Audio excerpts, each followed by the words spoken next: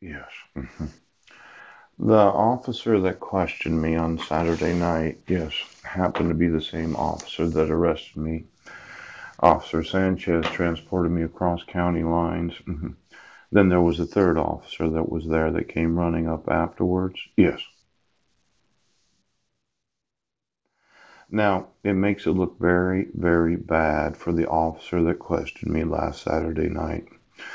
It makes it look like he's intentionally targeting me because he has a great dislike for me, but as I've learned, right, the police department has an odd sort of politic, don't they?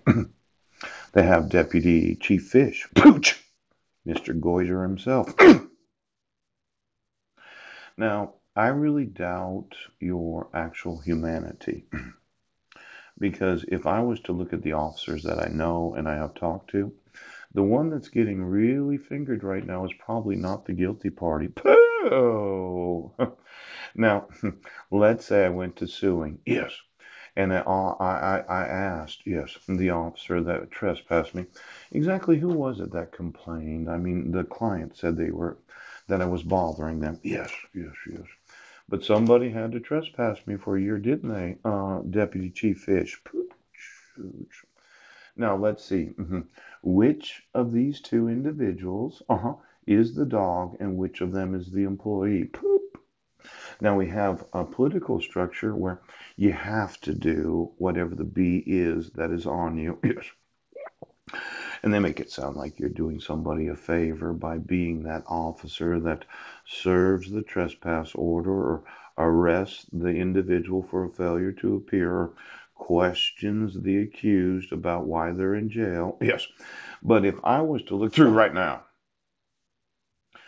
I'd say we're fingering the wrong individual. Now, maybe you don't understand the dynamics of working with each other. because there is one deputy fish that really dislikes me. Ouch, ouch, ouch. Isn't that right, Chief? Deputy right now. Now, there are certain individuals that I have fingered in these videos. Yes. Mhm. I dislike you, Deputy Chief of Police.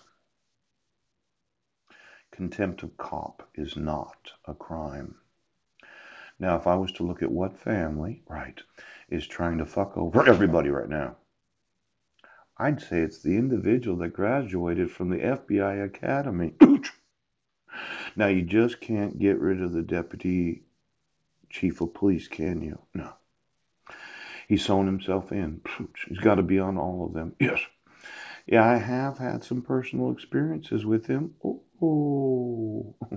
Now, of the actual individuals that are officers in the actual police department, those that are the persons, not their dogs. Yes. What dog has to be the big dog of all the fucking dogs right now? Mm. It's you, Deputy.